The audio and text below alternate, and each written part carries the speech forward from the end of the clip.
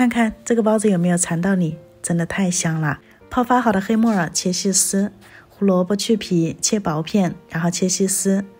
再来准备一个辣椒，切细丝，切好放盘子里。切一点葱姜蒜末，肉丝我提前腌好的，食盐、生抽、老抽，表面淋了一点油。四勺香醋，三勺白糖，两勺生抽，一勺老抽，四勺清水，一勺淀粉，搅拌混合均匀。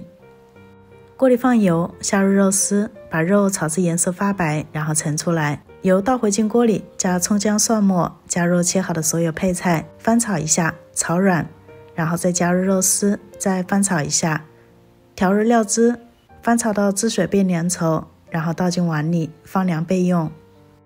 一百三十克的清水，加两点五克的酵母，加一小勺白糖，用筷子搅一搅，加入两百五十克的普通面粉，用筷子搅一搅。搅成絮状，然后再加一点猪油，大概是五克，然后下手揉面，揉成一个光滑、软硬适中的面团，然后移到案板上面，揉搓一下，搓成长条，下剂子，一共下了十个小剂子。案板上面撒一点干面粉，把剂子擀成中间厚、边缘薄的包子皮，像这样就可以了。然后打上馅料，稍微多放一点馅料，我的馅料和面皮是一样的重量。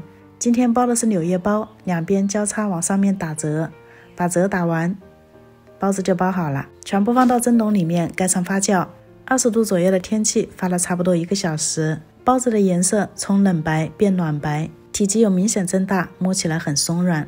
水开之后上笼，大火蒸十五分钟，关火之后焖一分钟，开盖，这样包子就蒸好了。你看每一个面皮都透着油，打开来看一下，满满的馅料。闻起来就很香，吃起来酸酸甜甜的，小朋友非常的喜欢。你也喜欢的话，试一下吧，拜拜。